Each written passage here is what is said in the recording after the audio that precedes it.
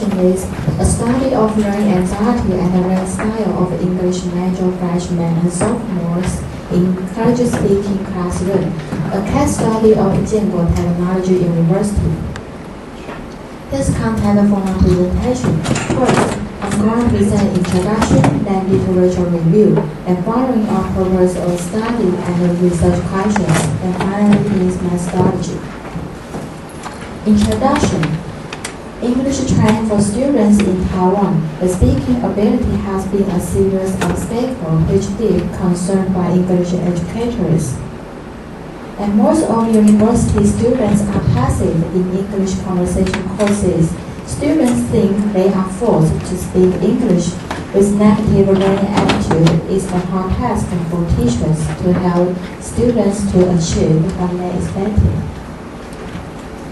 The literature review of the study includes three parts. The first one is foreign language anxiety, language anxiety, and learning style. For foreign language anxiety, according to Horwitz in 1986, foreign language anxiety is composed of three subcomponents. The first one is communication apprehension, and second, task anxiety, and the third one is fear of negative evaluation. And for the language anxiety, language anxiety is a fear or apprehension that occurs when a learner is expected to use the second language.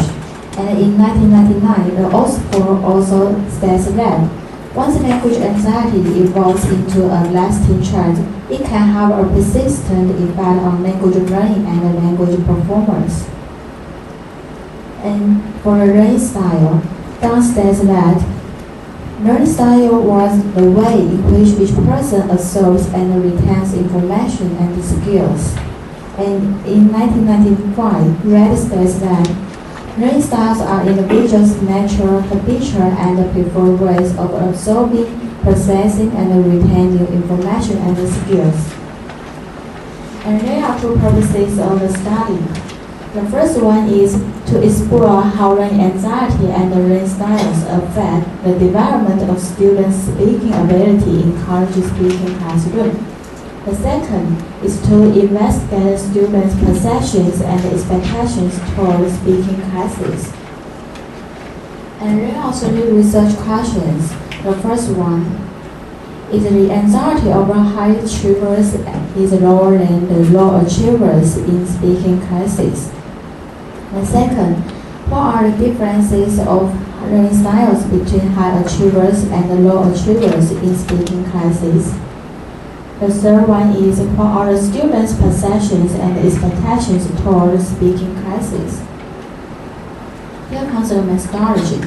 The target participants of this study are 100 English major freshmen and sophomores at Chienkuo Technology University. And since I'm going to compare the differences between the high achiever and the low achievers in speaking classroom.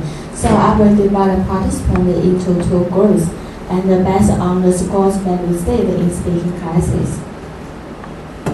And the instrument will be applied to the study or the first one is the foreign language classroom anxiety scale and the learning style survey. Let's take a look example. Uh, here's the foreign language question anxiety scale, and there are 33 questions on the questionnaire. And here's the model version of the learning style survey based on the Oxford study in 1993. And there are four parts of the questionnaire. The first part is how I use my physical senses, and the second one is how I expose myself to learning situations. And the third one is how I deal with tasks. And the fourth one is how I receive information. And for a procedure study, first I will conduct a pilot study to examine the practicability and the reliability of the questionnaire. Then the formal study was conducted with the questionnaire and the, the interview. And the interview will conduct with the 10 students from the participants. And then finally, I will analyze the data. For the data analysis, the quantitative data will be analyzed by descriptive ana- analysis and the independent test. Then for the qualitative data, the open-ended question will be analyzed, coded, and organized. Thank you for your attention. That's all my presentation. Okay, that's it?